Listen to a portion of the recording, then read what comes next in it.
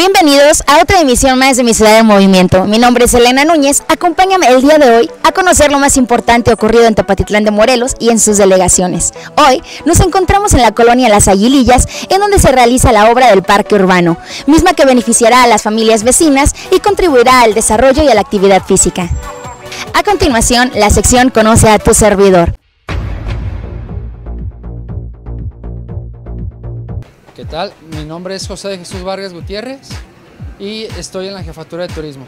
Muy bien, más que nada es la promoción del municipio, eh, las cuestiones un poco operativas, que es operativas, eh, la realización de algunos cursos, lo que es fuera de la oficina, ¿no? Eh, más que nada promoción turística, tanto dentro de la ciudad y fuera de ella. Pues mira, creo que el, ejemplo, el mejor ejemplo que podemos ver ahorita es, es lo que estamos viendo aquí atrás. Estamos realizando el festival, tercer festival de Ciudades Hermanas. En este en el que yo, bueno, yo manejo lo que es la cuestión operativa, desde la, la invitación a artesanos, en este caso Ciudades Hermanas, llevar toda la logística, los hospedajes, alimentos, todas las solicitudes que ellos nos piden, los acuerdos, eh, invitaciones formales con oficios a presidentes. Lo manejamos un poquito eh, por parte de la oficina, pero ya ahora sí que la ejecución, pues yo me, enfoco un poquito más a hacer todo lo que, lo que ves aquí atrás, ¿no? Estamos, estamos en eso ahorita, en estos momentos. Primeramente el aprendizaje, porque día a día aprendo de nuestra ciudad. El que estemos en turismo no quiere decir que sepamos todo de, nuestra ciudad, es increíble. Yo lo digo, yo no soy un profesional, los profesionales son los cronistas y hablar con ellos o, todo ese aprendizaje que tú te quedas, la satisfacción de tener un evento como estos y, que la gente te felicite, te, te el buen desempeño por parte de todos nuestros compañeros de la oficina, pues creo que eso es con lo que mejor se queda uno, ¿no? Agradezco el medio para, para presentar un poquito lo que hacemos nosotros como jefatura de turismo. Somos varios, no soy el único, entonces somos un equipo comprometidos con la ciudadanía, con el municipio con todos ustedes. Los invito para que asistan al evento en turno, pero tenemos muchas actividades, podemos apoyarlos en muchas cosas. Los invito a la oficina, está a un lado de la entrada principal de la presencia municipal. Ahí estamos para servirles de 8 de la mañana a 4 de la tarde y lo que se requiera en nuestra área, pues con todo el gusto los vamos a atender. Muchas gracias y es un gusto para nosotros. Les recuerdo nuestras redes sociales para que nos sigan, interactúen con nuestro contenido. En Facebook como Ayuntamiento Tepatitlán. Es realmente importante el cuidado del medio ambiente. El área de ecología cumple un papel fundamental en el ayuntamiento para el bienestar de la ciudadanía. El proyecto del parque urbano contempla los siguientes elementos en un espacio de 12.000 metros cuadrados, explanada de ingreso, cancha de fútbol rápido, módulos de asadores, módulos de juegos infantiles, puente para cruzar Arroyo Los Patos, trotapista, barra de ejercicios, servicios sanitarios, almacén y tiendita. Además de foro al aire libre, áreas de descanso, isla de estacionamiento, entre otros. Todo esto representa una inversión de poco más de 9 millones de pesos. Esta semana en nuestro municipio tuvimos diferentes acontecimientos. Te invito a ponerte al tanto en las breves de la semana. Nuestro municipio fue la sede del segundo cuadrangular nacional de béisbol femenil, efectuado en la Unidad Deportiva Hacienda Popotes con la participación de la selección de Jalisco Altos y los representantes de Sinaloa, Veracruz y Yucatán. Para inaugurar el torneo, el doctor Hugo Bravo, presidente municipal de Tepatitlán, realizó el primer lanzamiento de este cuadrangular. Después de tres días de competencia, resultó ganadora la selección jalisciense.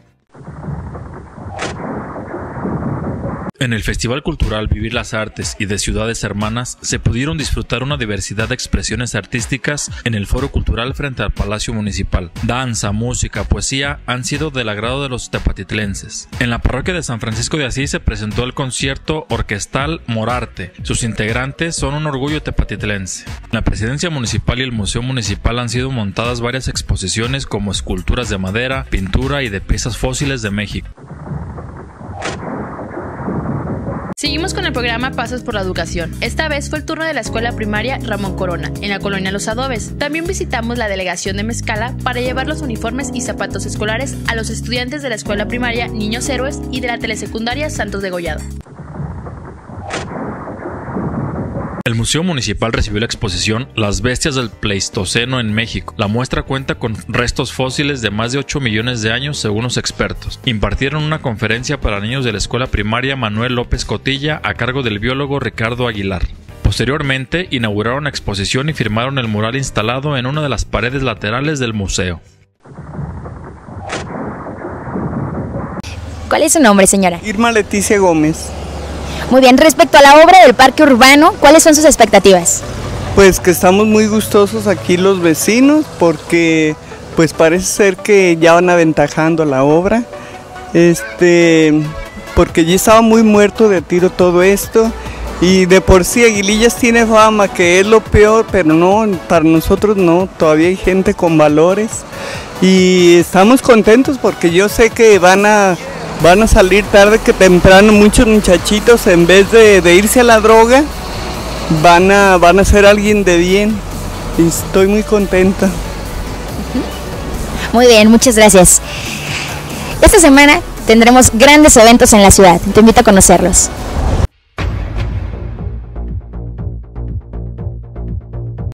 9 de diciembre a partir de las 8 de la mañana se desarrollará el programa Cultura del Agua en Capilla de Guadalupe. Habrá una marcha y varios concursos con el objetivo de promover el cuidado y buen uso del agua. Al punto de las 10 de la mañana tendrá lugar la tercera carrera regional incluyente por la salud, organizada por la Jurisdicción Sanitaria número 3 en colaboración con la DERCE Tepatitlán y el gobierno municipal. El punto de salida es frente al Museo Municipal, por la calle Hidalgo, teniendo como meta la Plaza de Armas. A continuación, es tiempo de la sección Vamos a Tepa, en donde conoceremos algún rincón o alguna tradición de la Perla de los Altos.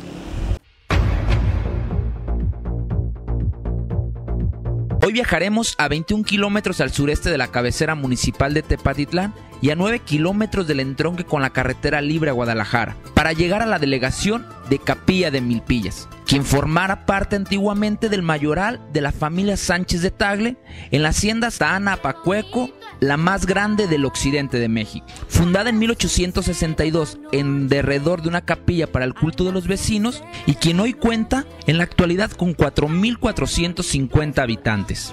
Durante la Guerra Cristera, que fue el acontecimiento histórico que dejó más profunda huella en la región de los Altos, los cristeros al mando del coronel Gavino Flores se apoderaron de la población y nunca los pudieron desalojar los soldados federales, sino hasta la muerte a traición del cabecilla cristero.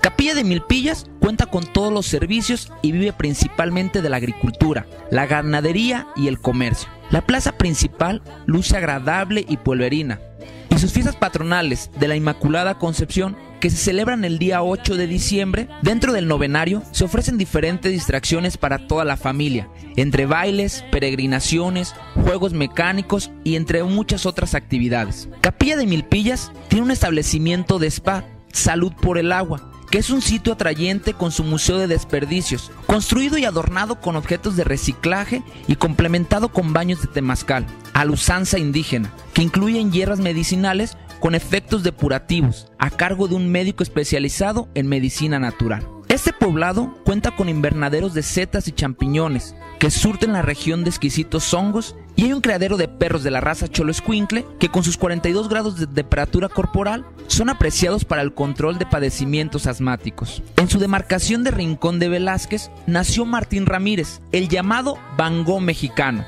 gran pintor al que la crítica neoyorquina atribuyó este calificativo por sus numerosas pinturas que efectuó en los 30 años que vivió recluido en un sanatorio para enfermos mentales. En el Museo Regional de Tepatitlán se pueden apreciar 32 reproducciones del museo, cuyos originales se exhiben en grandes museos como el Guggenheim, el Reina Sofía de Madrid y el de Arte Folclórico de Nueva York. Por esto y mucho más, vamos a Tepa. Bien. ¿Cuál es tu nombre? Pedro. ¿Y el tuyo? Albeiro. Ok, muy bien. De todo el parque, ¿qué es lo que más le va a gu- les va a gustar de lo que va a tener? El fútbol. El fútbol. Va a haber canchas y qué más. Los juegos. Muy bien, van a poder llevar a su mamá a correr, van a poder cruzar el puente y van a poder también hacer una carne asada. A continuación, vamos a conocer las colaboraciones de nuestros seguidores en redes sociales.